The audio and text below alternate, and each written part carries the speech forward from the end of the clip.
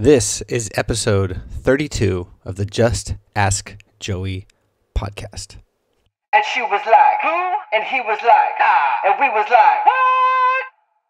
And she was like, who? And he was like, ah. And we was like, what?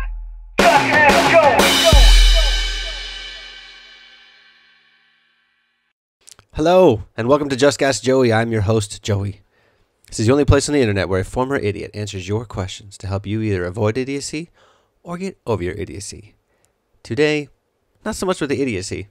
The question of the day is how do I stop being scared and go for my dreams?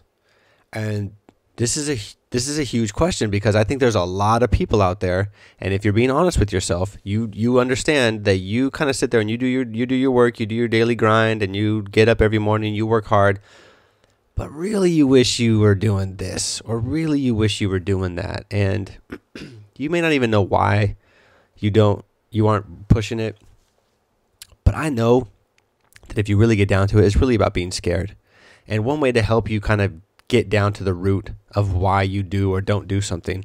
I like to use this thing called the five whys. And it's basically just what it sounds like. You ask yourself why five times. So, why am I, for example, like, why am I not, why did have I not written a book? Let's say that's your thing. Well, why? Well, I don't have time. Well, why don't I have time? Well, because I work really hard. Well, why do you work so hard? Well, because I want money. Well, why do you want money? Well, so I can have time to do things I like to do. Well, what do you like to do? Well, I like to write. And then you're back to, well, why don't I write? Well, really did you don't want to make time. Really did you don't want to give up money. And why? Because you don't think that what you're going to do is going to provide you with that money.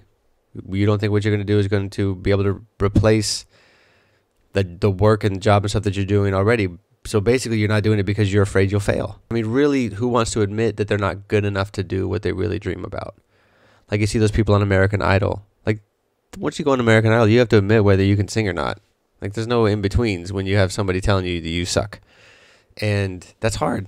It's hard when you have a dream and you know, some people's dreams are realistic, some people's dreams are not realistic, but I would bet that most of your dreams are pretty realistic if you look at them in a realistic way. So I'm going to give you three things to kind of manage your fear and to get you taking steps and being productive towards reaching your goals. So the first thing that you really need to look at is taking baby steps. One thing that I think is a deterrent to going for it is looking at the project like as a whole. Like let's say you're a musician and you're gonna go, I want to come up with an album and I want to be a famous whatever. I want to be a famous musician.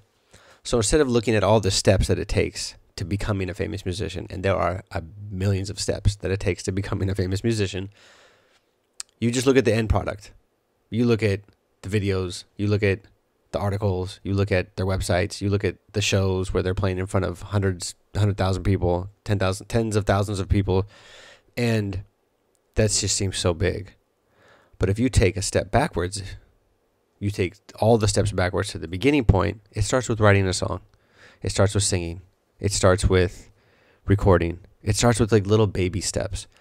So instead of looking at your project as a whole, and there's a thing that Tony Robbins says, he says people overestimate what they can do in a week and they underestimate what they can do in a year. Part of the baby steps is you have to actually take the baby steps. So take a baby step every single day.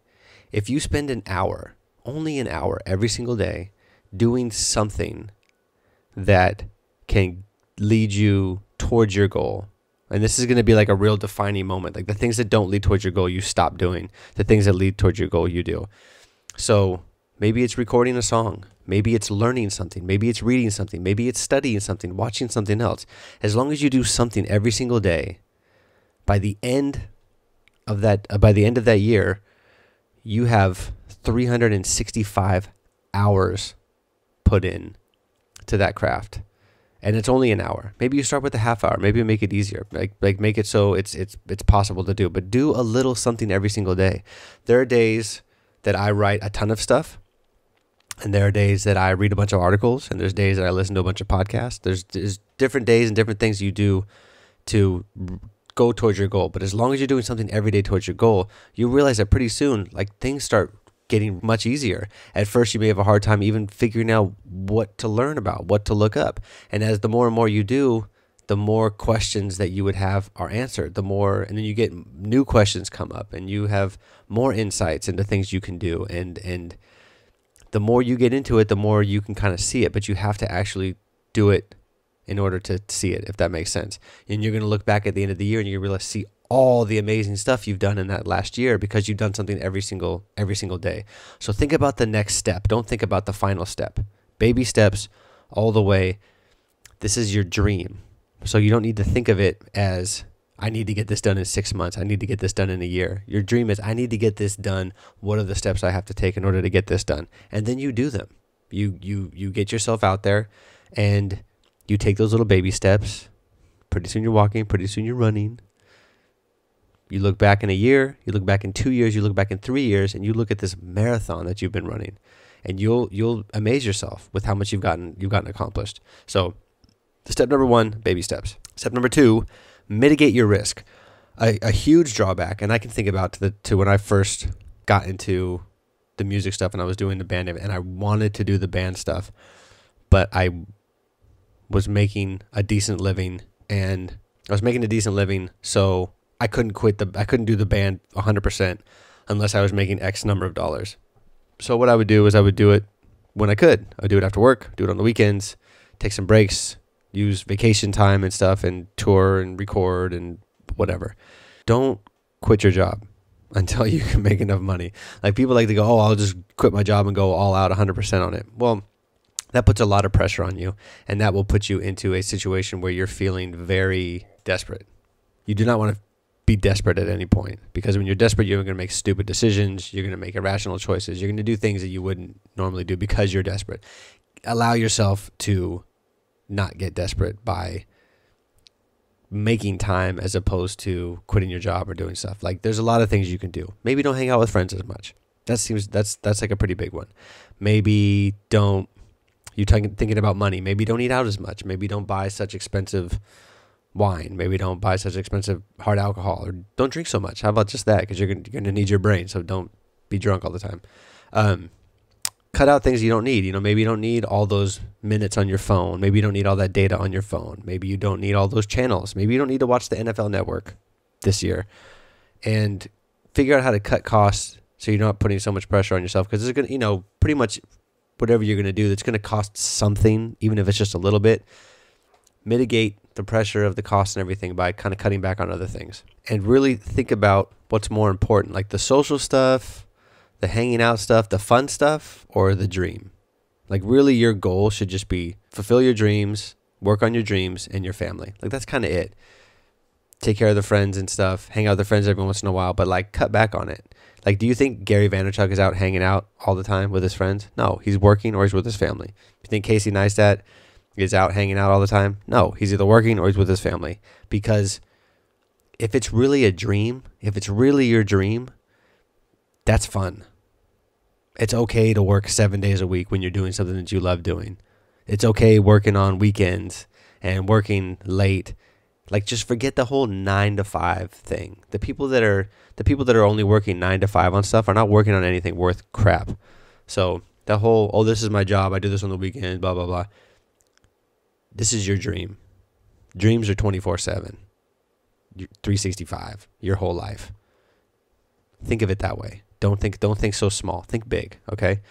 So mitigate the risks so you're not putting pressure on yourself, money, time, all that stuff. Keep a job cut back on expenses, those kind of things can help you create uh, an environment where you're not feeling pressure. So you can give your dreams and the steps and stuff the proper time and the proper care that they need in order for you to reach your goals. The third thing you need to do is change your mindset. Everything you know about winning and losing, throw them out. Losing and failure, not even in your vocabulary anymore. So you can't even look at it like that. You don't, it's not even an option. So it's gone. Not even in your vocabulary because everything you do is a, is a thing you learned. It's a thing you learned not how to do. It's a thing you learned how to do better. It's a thing that you can reflect on. Everything. Think of yourself like Thomas Edison. The whole quote, um, "I haven't failed. I found ten thousand ways that don't work." That's you. He never failed. you never fail. You may find a hundred thousand ways that don't work, but you know what? You know those hundred thousand ways don't work, and then you find the one that does work, and then you focus on that. You can't fail. Just don't let yourself fail. When things don't go the way you want them to, figure out what went wrong and fix it.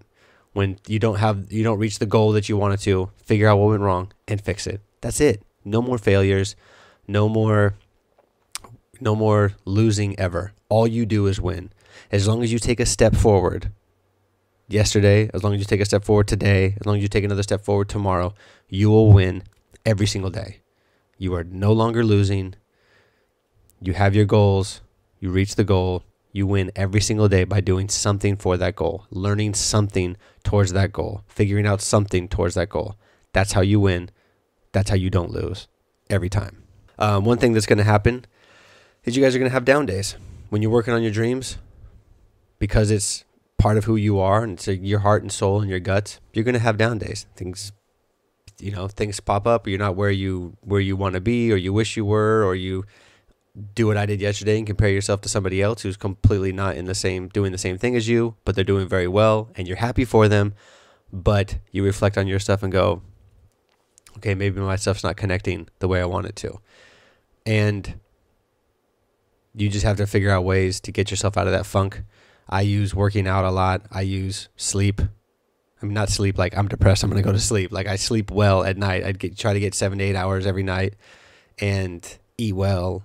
Like I said, work out, cold showers, things that just kind of help you get out of your funk. A lot of meditation, and figure out the things that help you get out of your funk because you're gonna get into a funk. That's what happens when you're putting your heart and soul into something some days are some days are rough most days are fantastic but you you figure out what works and, and what doesn't and you do what works obviously remember long term whole life your goal is not something that you can give six months to it's not something you can give a year to don't put a time limit on it throw your calendar away okay you stop working on your goal and your dreams when you're dead okay as long as you wake up tomorrow you work on your goals and your dreams you just keep doing what you're doing, taking baby steps, because your dreams are pretty much who you are. So you can't ever put a cap on who you are. Oh, I'm going to give myself 12 months to do this. Well, what the hell does that mean?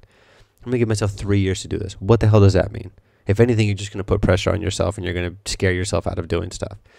No cap, no time limit. Work on something every single day. You look back in a year, you look back in two years, you look back in three years, and you'll have done some amazing things and check yourself, audit yourself, make sure that you are doing what you should be doing and doing everything you can. Maybe the half hour a day turns into an hour a day. Maybe that hour a day turns into two hours a day. Maybe you find other places you can work it in. Maybe you put in a full day on Saturdays and Sundays. That's an extra 16 hours a week towards your goal. You'll figure it out as you get there, but but audit yourself and figure out where you can gain more more leverage, more knowledge, more output, all those things because everything that you guys want to do and everything you guys dream about is attainable.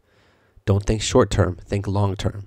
Long game, long term, life goals. Get at it. I'll talk to you guys soon. And she was like, who? And he was like, nah. And we was like, what? Just let's go.